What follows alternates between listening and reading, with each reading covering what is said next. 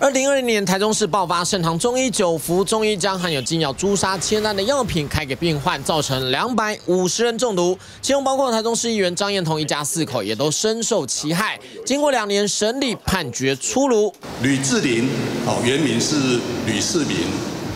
他一共犯了一千零六十三罪的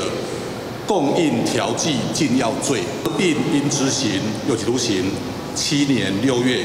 其中，盛唐中医负责人吕志林原名吕世民，因为指示员工使用朱砂入药，被以供应、调剂和贩卖禁药、过失伤害等罪判处七年六个月徒刑。九福中医负责人洪张宏也因为使用朱砂制成珍珠五宝粉，以一两六千元的高价卖给病患服用，被判刑七年两个月。制造含有禁药的这个朱砂，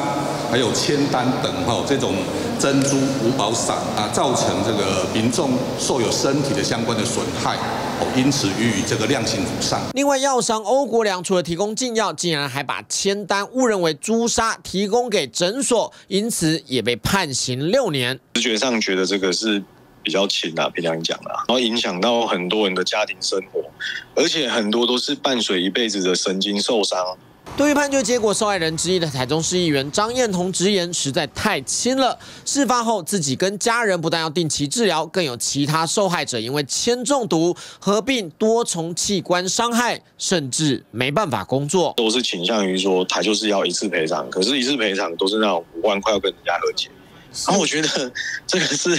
一辈子的事情，你就五万块和解，所以他所谓一直说他有诚意，我觉得他的诚意跟大家认知相差很远啊。张彦彤说，案件受害人超过两百多人，几乎是永久性伤害，但三位当事人明明都是医疗专业人员，竟然还贩售禁用药物让患者服用，三个人却只判刑六年到七年半不等，根本不成比例。而全案还可以再上诉。TVB 新闻赖崇龙台中采访报道。